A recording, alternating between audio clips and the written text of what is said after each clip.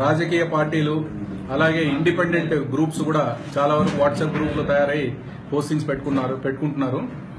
దానిలో ఏం తప్పులేదు. కాకపోతే ఎవరైనా సరే ఏ అడ్మిన్ అయినా సరే ఏ గ్రూప్ అడ్మిన్ అయినా సరే వాళ్ళ గ్రూప్లో ఉన్న మెంబర్స్ ఎవరైనా ఎదుటి వ్యక్తిని కించపరిచే విధంగా రెచ్చగొట్టే విధంగా మెసేజ్లు పెట్టినట్టయితే అడ్మిన్ యొక్క బాధ్యత ఏంటంటే ఇమీడియట్గా ఆ మెంబర్ని డిస్కార్డ్ చేయాలి ఆ గ్రూప్ నుండి.